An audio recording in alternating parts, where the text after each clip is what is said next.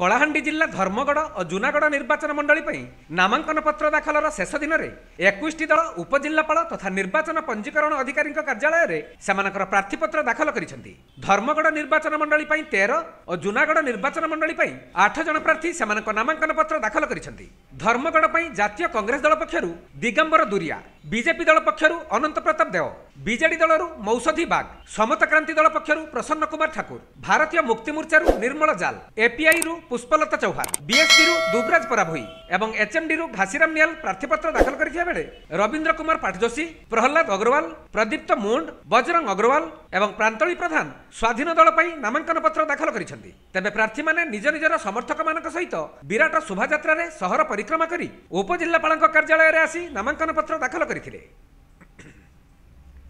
କଳାହାଣ୍ଡି ଧର୍ମଗଡ଼ରୁ ଶୋଭିତ ଗାନ୍ଧୀଙ୍କ report Konark live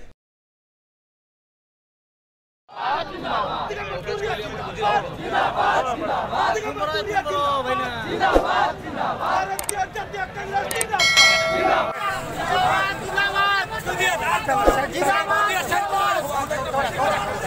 ちょっと!